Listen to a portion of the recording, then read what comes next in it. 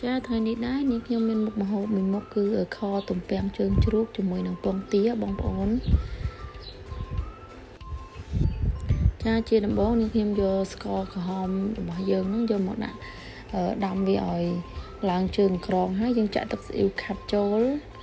បន្ទាប់មកយើងដាក់ជើងជ្រូករបស់យើងចូលហើយយើងចាក់ទឹកដើម្បីរំងាស់ជើងជ្រូកនឹងហើយយើងដាក់គ្រឿងក្រឹបដូចជាស្ករប៊ីចេងអំបិលទឹកត្រីអីអញ្ចឹងទៅណាបងប្អូន បន្ទាប់ពីខរបស់យើងបានចាក់ទឹកហើយយើងចាប់ផ្ដើមដាក់ពងទាជាមួយនឹងទំពាំងរបស់យើងដើម្បីយើងរំងាស់ជាមួយនឹងជើងជ្រូករបស់យើងឲ្យបានចូលជាតិគ្នាល្អ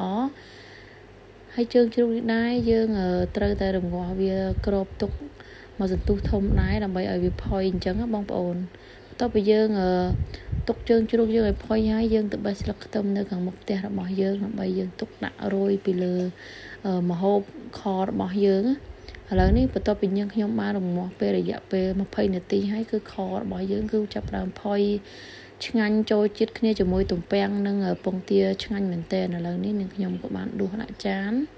ហើយយើងរោយស្លឹកខ្ទឹមរបស់យើងមកដើម្បីឲ្យវាមានក្លិនឈ្ងុយនិង